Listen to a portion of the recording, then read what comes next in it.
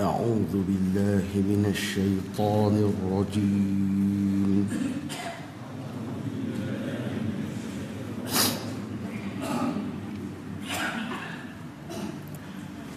وإذ أخذنا ميثاقكم ورفعنا فوقكم الطور.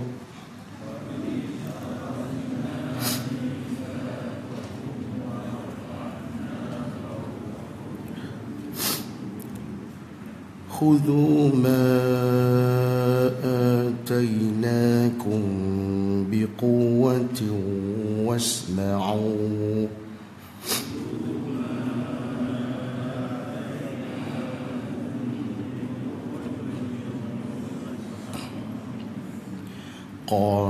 سمعنا وعصينا.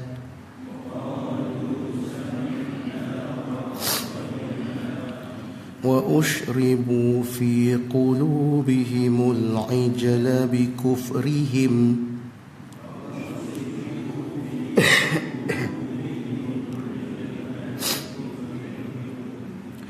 قل بئس ما يأمركم إيمانكم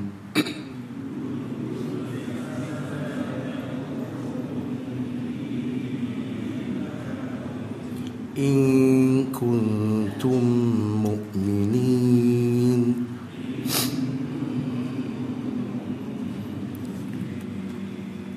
قل إن كانت لكم الدار الآخرة عند الله خالصة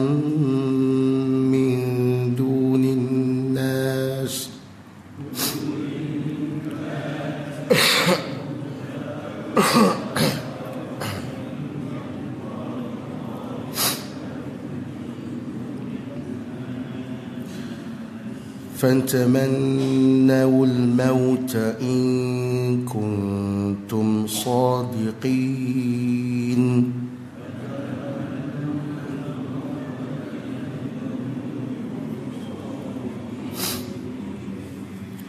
ولن يتمنوه أبدا بما قدمت أيديهم.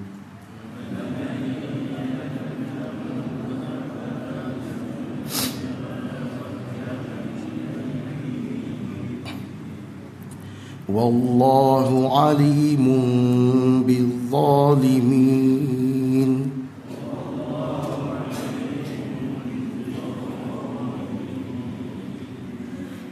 صدق الله العظيم. الحمد لله والصلاة والسلام على رسول الله وآله وأصحابه ومن والاه أما بعد السلام عليكم ورحمة الله وبركاته Alhamdulillah pagi ini kita dapat jumpa saya mohon maaf hari Isnin hari Isnin baru ni saya tak ada suara eh, untuk berceramah Pagi ini kita sambung balik. Kita ambil tiga ayat. Ayat yang pertama ayat 93 Di mana Allah subhanahu wa ta'ala menyatakan Wa idh akhadna mithaqakum wa rafa'na fawqakum tur Khudhu ma atainakum biquwah Wasma'u dan ingatlah ketika mana kami mengikat perjanjian setia dengan kamu. Semasa kami angkatkan bukit Tur itu ke atas kamu. Daripada tafsir kita kita tafsir yang saya rujuk Para ulama hanya mengitlakkan saja. Makna kami angkat bukit Tur itu di atas kamu ya sebagaimana yang Allah Taala sebut macam itulah ya wallahu taala a'lam Bukit Tur sebagai semasa Nabi Musa alaihissalam naik ke atas bermunajat selama 40 malam dan menerima kitab Taurat. Allah Subhanahu wa taala menjadikan Nabi Musa itu sebagai wakil Bani Israel untuk membuat perjanjian perjanjian dengan Allah taala. Ya. Wa id akhadna mitsaqakum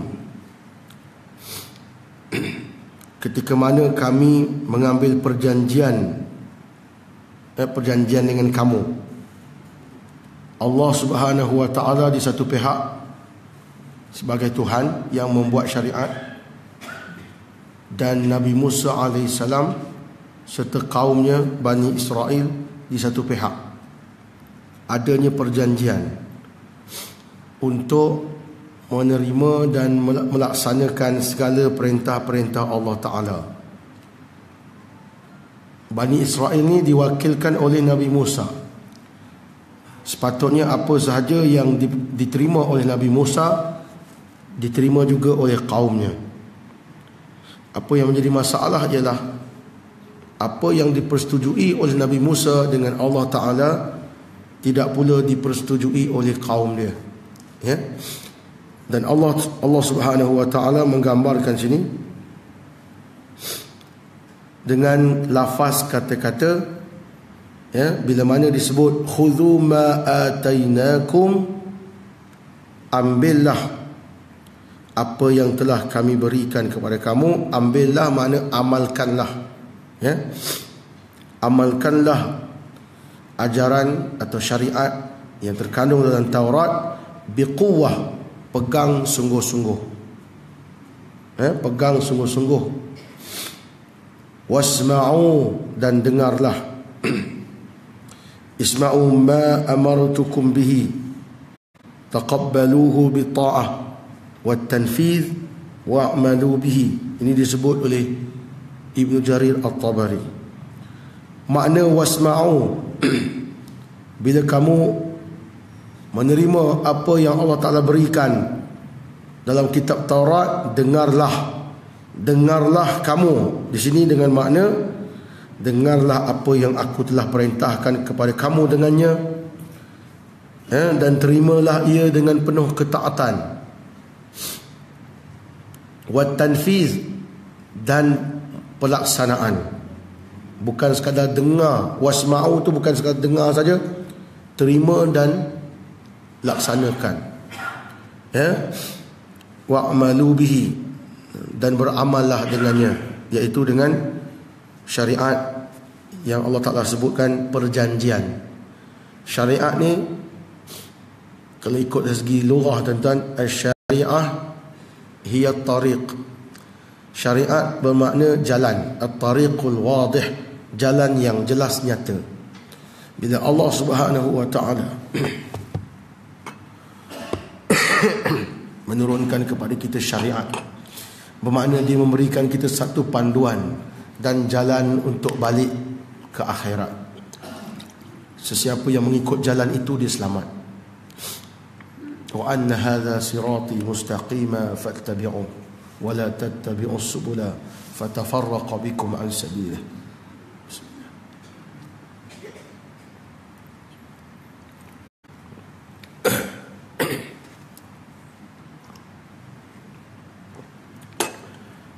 Allah Subhanahu wa taala sebutlah ayat lain.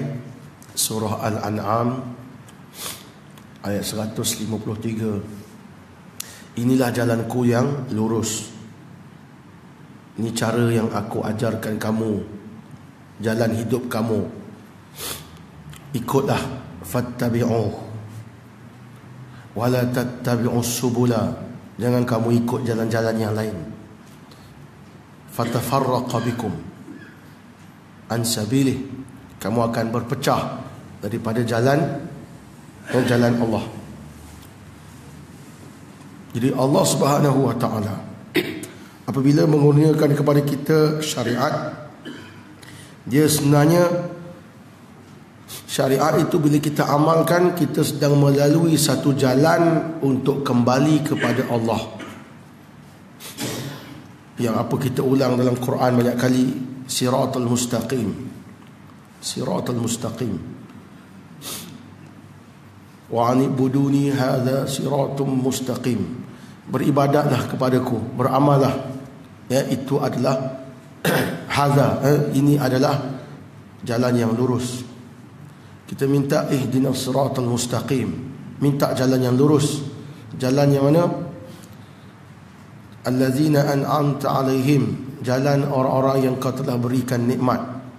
Minan nabiyyin wasiddiqin wasyuhada'i wassalihin dan telah dijelaskan makna jalan yang lurus orang-orang yang diberi nikmat adalah para nabi siddiqin syuhada dan salihin jadi sepatutnya bila ikut jalan ini kamu akan selamat dunia dan akhirat apabila Nabi Musa memberikan atau menyampaikan syariat yang merupakan perjanjian antara dia dengan Allah. Dia mewakili Bani Israel menerimanya. Kaum dia kata apa? Qalu sami'na wa asayna. Mereka menjawab kami dengar dan kami asayna dengan makna kami menderhaka. Kami menderhaka. Okey. وفي هذه الجملة التفات من الخطاب إلى الغيبة حيث قال khudhu ma ataynakum biquwwah wasma'u wal an akhbara anna apa ni?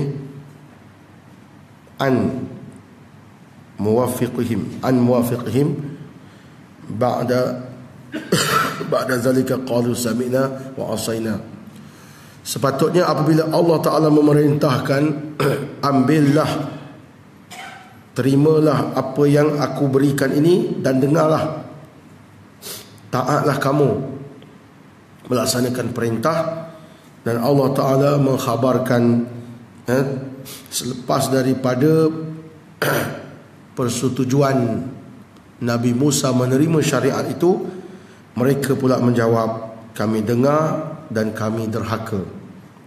Ya ai umirna uh, umi apa ni? Amarnakum bi ta'ah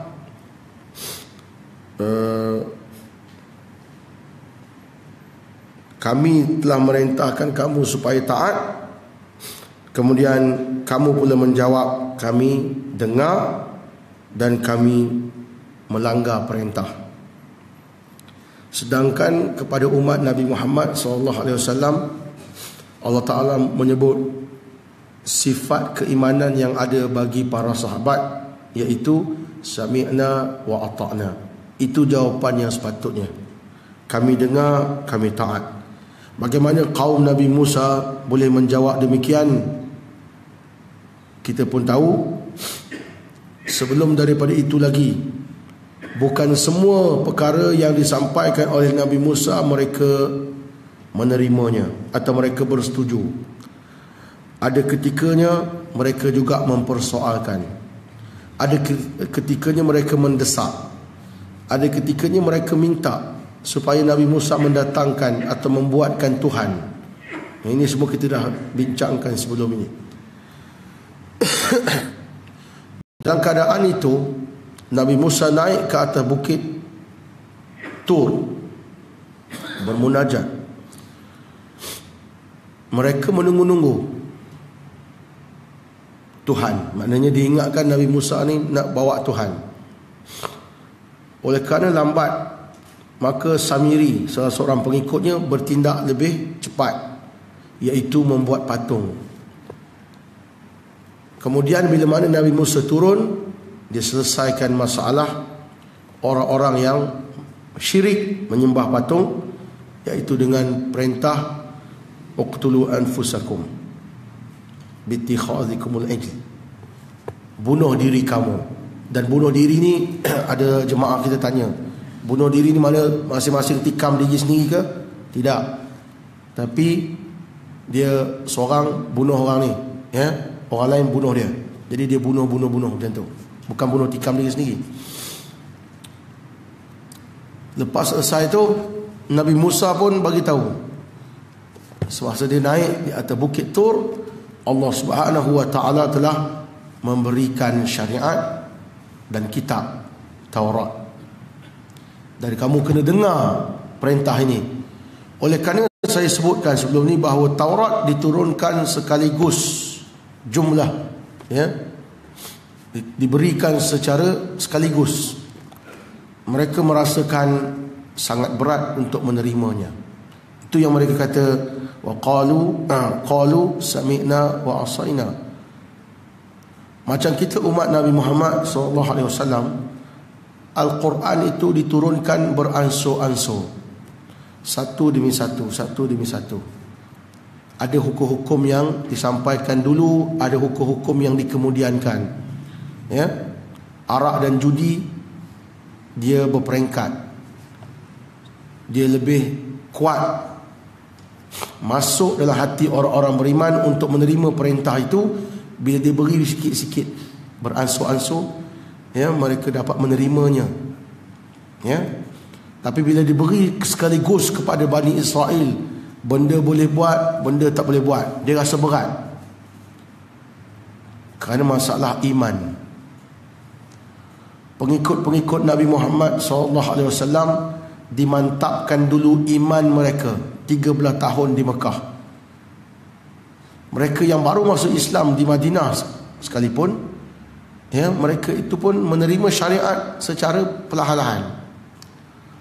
Jadi mereka dapat menerima satu demi satu satu demi satu perintah. Sebab itu diriwayatkan bagaimana perempuan-perempuan yang beriman. Apabila turun ayat berkaitan dengan aurat mereka segera menutup aurat tanpa bertangguh. Ayat berkaitan arak bila turun mereka tu curahkan arak yang ada dalam dalam di, di tangan mereka. Curah. Dipecahkan tempayan. Dipecahkan bekas-bekas minum arak. Kenapa? Kerana mereka sangat menjunjung perintah Allah Subhanahu wa taala. Atas dasar iman. Imanlah yang boleh membuat kita ni patuh dan taat. Masalah kepada Bani Israel yang kita sebutkan sebelum ni dia ada masalah keimanan kerana sebab itulah mereka mempertikaikan. Bahkan boleh boleh berselisih pendapat dengan nabi mereka. Dan kita dah sebutkan sebelumnya. Ya kathratu masailihim wa ikhtilafuhum ala anbiya'ihim. Dia dengan nabi-nabi pun dia boleh nak buat gaduh. Ya? Banyak pertanyaan dan berselisih pendapat dengan nabi-nabi oleh itu bila datang Nabi Musa membawa Taurat dengan perintah-perintah yang banyak larangan-larangan yang banyak dia rasa berat nak terima qalu lalu mereka berkata sami'na okey tak apa engkau dah cakap dah. Wa asaina dan kami nak lawan. Asa ni maknanya derhaka. Asaina kami derhaka. Ya? Kami tak nak patuh. Kami tak mau ikut dan Allah Taala menyatakan wa ushribu fi qulubihim al-ajl. Apa sebab jadi begitu? Kerana telah apa nama ni? Ushribu ni kalau ikutkan menyerap maksudnya. Diserap menyerap lah. dalam hati mereka itu telah terserap satu perasaan suka untuk menyembah patung anak lembu. Eh kalau terjemahan dalam tafsir apa ni pimpinan ar-rahman dia kata uh, sedang kegemaran menyembah patung anak lembu itu telah mesra dan sebati dalam hati mereka. Boleh masuk tu. Apa nama Allah Basmiyah ni dia rujuk kita kita tafsir lah. Mana perasaan menyembah patung anak lembu tu telah menyerap dalam hati mereka. Walaupun bukan semua orang yang sembah patung tu tetapi dikatakan bahawa ianya memang telah menjadi amalan sebelum lagi datangnya Nabi Musa salam. Antara sebab mereka menjadi hina diperhambakan oleh Firaun ya kerajaan Firaun. Antaranya sebab mereka dahulu syirik kepada Allah Subhanahu wa taala. Datang Nabi Musa alaihissalam sebenarnya bukan sekadar untuk menentang Nabi uh, menentang Firaun. Sebenarnya Nabi Musa juga datang untuk membetulkan akidah golongan ini Bani Israel. Eh, membetulkan akidah kaum dia dalam masa yang sama berdepan dengan apa nama ni kerajaan Firaun.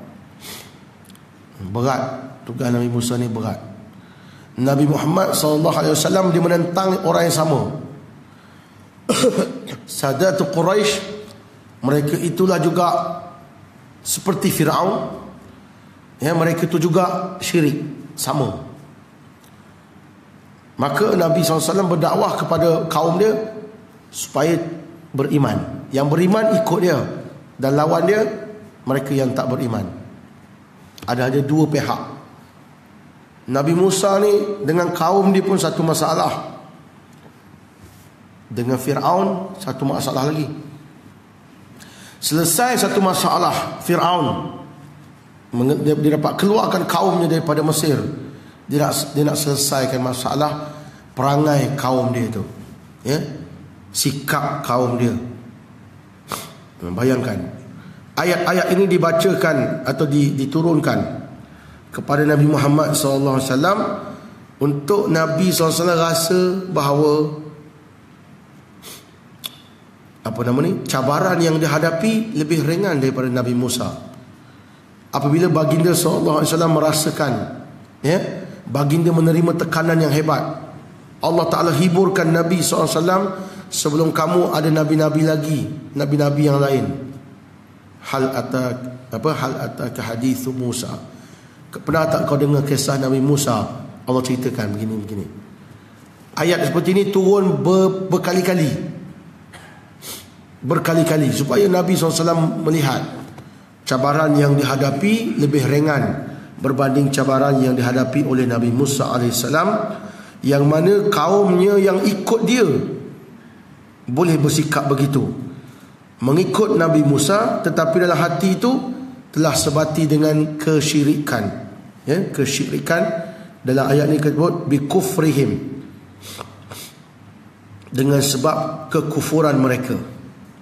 Sedangkan mereka yang ikut Nabi Muhammad sallallahu alaihi wasallam beriman sungguh-sungguh.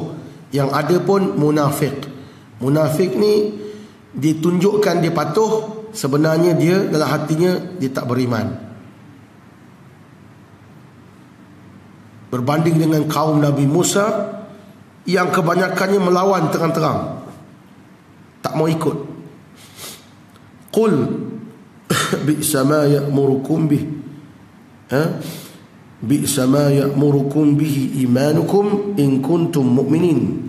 Dan Allah Taala menyatakan amat jahatlah apa yang disuruhkan oleh iman mereka. Maksud iman ni mana apa? Iman mereka kepada kepada Injil ataupun anak patung lembu itu. Bi sama ya'murukum bihi imanukum. Allah Subhanahu wa taala boleh gunakan perkataan lain tapi disebut disebutkan keimanan kamu. Artinya keimanan kamu tu batil. Kamu tidak sungguh-sungguh beriman kepada Allah taala. Karena kalau iman kamu benar, kamu akan jawab sami'na wa ata'na. Kami dengar arahan dan kami patuh. Jadi keimanan kamu yang rosak, yang batil itu ya menyebabkan kamu bersikap apa nama? bersikap uh, sebaliknya terhadap apa yang didatangkan oleh Nabi Musa alaihissalam. In kuntum mu'minin kalau benarlah kamu orang-orang yang beriman. Kemudian ayat yang berikutnya. ayat berapa? Ayat 94 Qul in kanat uh, in kanat lakum ad-darul akhirah inda Allah khalisah min dunin nas. Katakanlah sekiranya ini siapa ayat ini dituju pada siapa ayat ini pula dituju kepada Bani Israel yang hidup pada zaman Nabi Muhammad sallallahu alaihi wasallam ini bukan cerita Nabi Musa ni. Ini cerita Bani Israel yang ada di Madinah. Qul ayat ni perintah kepada Nabi baca kepada mereka. Bila ada qul bermakna dia balik zaman Nabi SAW. Bila sebut wa id akhadna wa id qala rabbuka. Iz itu dia litazkir nak ingatkan balik datuk nenek moyang kamu dulu. Datuk nenek moyang kamu dulu. Ingatlah, kenanglah datuk nenek moyang kamu dulu pada zaman Nabi Musa. Kenangkanlah begini begini begini. Dia cerita dulu. Bila lepas Allah Taala ceritakan datuk nenek moyang dia punya perangai, qul. Ha, bila qul ni dia balik kepada zaman Nabi SAW sebutkanlah katakanlah kepada orang-orang Yahudi yang ada di di hadapan kamu. Ya. Kalaulah syurga negeri akhirat itu telah menjadi istim, hak istimewa untuk kamu sahaja di sisi Allah atau di sisi hukum Allah. Orang-orang Yahudi ini mengatakan bahawa agama dan akidah yang mereka pegang itu benar. Jadi syurga ini hanya layak untuk mereka sahaja min dunin nas Orang lain tak dapat. Ya, bila sebut khalisatan min min dunin nas maksudnya syurga ni semata-mata untuk mereka saja hak milik istimewa. Orang lain tak layak masuk syurga.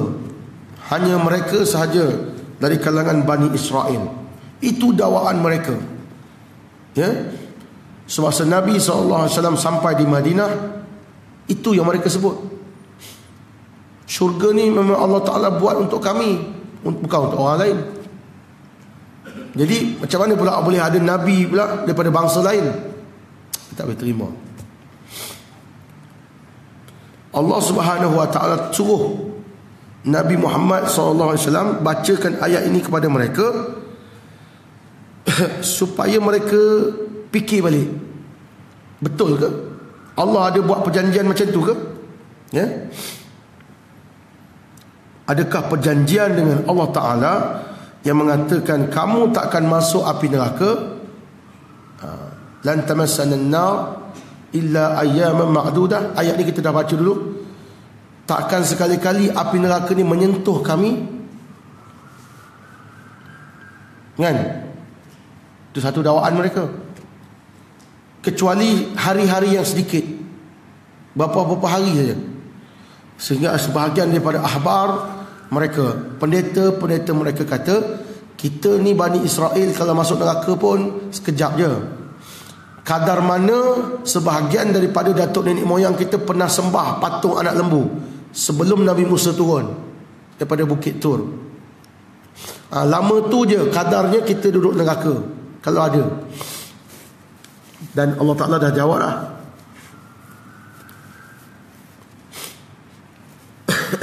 Am taquluna ala Allahi ma la ta'lamun? Adakah kamu bercakap terhadap Allah ni benda yang kamu tak tahu? Di sini dakwaan mereka pula Syurga tu milik mereka sahaja. Allah Ta'ala buat syurga hanya untuk Bani Israel. Ya? Zalika anna Allah Allama fiha Rasulahu sallallahu alaihi wasallam mubahalah ha, wa tahaddi Allah Subhanahu wa taala sesungguhnya mem, apa ni memberitahu atau mengajarkan kepada Rasulullah sallallahu alaihi wasallam tentang perangai Bani Israel ni mereka kata syurga tu milik mereka sahaja dan diajak mereka supaya bermubahalah. Bermubahalah ni makna bersumpah laknat. Ya Watahadi mencabar mereka kalau berani. Kalau mereka memang kata mereka itu benar, apa yang mereka dakwa itu benar, syurga itu milik mereka, fatamannaul maut. Maka hendaklah kamu bercita-cita untuk mati. Ha. Kalau betul lah syurga itu memang untuk kamu, kamu doa banyak-banyak kat Tuhan supaya mati. Dah mati masuk syurga. Di sini dengan makna mari kita bersumpah dengan nama Allah Taala kalau kebenaran di pihak kamu maka laknatlah di pihak kami. Dan sekiranya pula kebenaran di pihak kami, maka Allah matikan kamu semua. Dan kamu kalau betul masuk syurga, ha, mati masuklah syurga. Tetapi malangnya mereka tidak berani untuk menjawab apa? cabaran Nabi Muhammad sallallahu alaihi wasallam. Ya? Fatamannawul mauta in kuntum sadiqin. Maka hendaklah kamu bercita-cita untuk mati kalau kamu orang-orang yang benar. Apa yang berlaku ialah bila sebut tentang mati, Bani Israel yang ada di Madinah tu tak berani untuk menjawab cabaran Nabi SAW. Tak berani. Kalau betul kamu kata kamu ini benar, patutnya kena berani lah. Bersumpah dengan nama Allah, Wallahi wa billahi wa tallahi. Ya? Bahawa engkau wahai Muhammad, Nabi yang palsu, agama yang batil kami agama yang benar jikalau kami benar maka Allah binasakan kamu kemudian Nabi SAW pula jawab wallahi wa billahi wa tallahi jikalau kamu berada di atas kebenaran maka Allah matikan kamu. Dia tak nak. Orang Yahudi tak nak. Tak berani. Ya? Dan pada ayat berikutnya ayat 95 walan yatamannawhu abada. Lan ni walan nafilil abad. Maknanya selama-lamanya. Ya tidak. Selama-lamanya tidak yatamau yatamannawhu abada hu tu makna maut. Selama-lamanya mereka tidak bercita-cita untuk mati. Ha tu dia. Jadi bukan saja mereka ni tak berani untuk menjawab cabaran Nabi SAW ya bukan saja itu bahkan mereka ni sebenarnya golongan yang takut mati ya mereka tidak bercita-cita bercita-cita untuk mati sampai bila-bila. Bima qaddamat aidihim. Apa makna? Bima qaddamat aidihim dengan apa yang telah didahulukan oleh tangan-tangan mereka dengan maksud bidhunubihim dengan dosa-dosa yang telah mereka lakukan. Mereka tak berani untuk menghadapi kematian. Wallahu alimun bizzalimin dan Allah taala Maha mengetahui akan orang-orang yang berbuat zalim jadi ayat-ayat ini nak menyatakan bahawa memang menjadi sikap Bani Israel ini dia hanya berani bercakap berani mendakwa sesuatu tetapi tidak berani untuk membuktikan kebenaran perangai mereka. Apa saja yang mereka lakukan kepada Nabi Muhammad SAW dan pengikut-pengikut baginda hanyalah dengan sebab kedengkian mereka. Ya. Walaupun mereka tahu mereka ni sebahagiannya merasakan mereka itu berada di atas kebatilan tetapi perasaan sombong ego yang ada dalam diri mereka tu menyebabkan mereka tak mau ikut kebenaran. Ya. Jadi ini semua berlaku dengan sebab apa tuan-tuan? Dengan sebab terlalu yakin. Ya, terlalu yakin apa nak pegangan yang mereka pegang selama ini. Satu, mengutamakan bangsa mereka mengatasi bangsa yang lain. Sampaikan api neraka apa? Api neraka pun dia kata takkan masuk. Kalau masuk pun sekejap sampai mereka berani berkata syurga itu hanya Allah Taala jadikan untuk kami saja min duninas khalisatan min duninas maknanya tak ada orang lain tak ada peluang macam mana mereka boleh berani cakap sampai ke tahap itu pastilah kerana ada ke kepercayaan keyakinan yang batil yang telah ditanamkan generasi demi generasi demi generasi dan benda ni tuan-tuan sampai ke zaman kita. Orang-orang Yahudi yang ada di apa nama Israel sekarang ni macam itulah akidah ni. Sebab saya banyak baca jurnal dan juga tulisan-tulisan yang mendedahkan sikap mereka sekarang ini terhadap penduduk Palestin. Kerana menganggap bahawa bangsa Palestin hanyalah bangsa yang Allah telah jadikan untuk uh, berkhidmat kepada mereka Kerana mereka itu mereka itu adalah Sya'bullahil Mukhtar bangsa pilihan Tuhan. Sedangkan bangsa-bangsa lain ini dia hanya setaraf dengan haiwan. ya selain daripada Bani Israel yang bertubuh seperti manusia, rohnya adalah roh haiwan. Yang menyebabkan mereka boleh membunuh bangsa-bangsa lain tanpa perasaan belas kasihan kerana mereka adalah bangsa yang terpilih oleh Tuhan dan Allah Taala telah menyiapkan kehidupan akhirat untuk mereka syurga hanya milik Bani Israel dan tidak kepada bangsa-bangsa yang lain baik kita berhenti dulu setakat ni insyaallah akan datang kita sambung lagi pada ayat-ayat yang berikutnya aqulu qawli hadha wa astaghfirullah li wa lakum wa lisairil muslimin wal muslimat fastaghfiruhu إنه هو الغفور الرحيم بسم الله الرحمن الرحيم الحمد لله رب العالمين والصلاة والسلام على أشرف الأنبياء والمرسلين وعلى آله وصحبه أجمعين. ربنا زدنا علما وارزقنا فهما وعملا متقبلا. اللهم فقهنا في الدين وعلمنا التأويل. ربنا هب لنا من أزواجنا وذرياتنا قرة أعين وجعلنا للمتقين إماما. ربنا آتنا في الدنيا حسنة وفي الآخرة حسنة وقنا عذاب النار. صلى الله على نبينا محمد وعلى آله وصحبه أجمعين. وآخر دعوانا أن الحمد لله رب العالمين. تقبل الله منا ومنكم. السلام عليكم ورحمة الله وبركاته.